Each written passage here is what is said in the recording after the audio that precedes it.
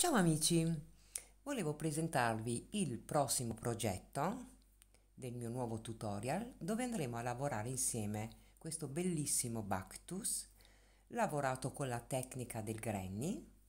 Vi aspetto numerose, ciao a tutte!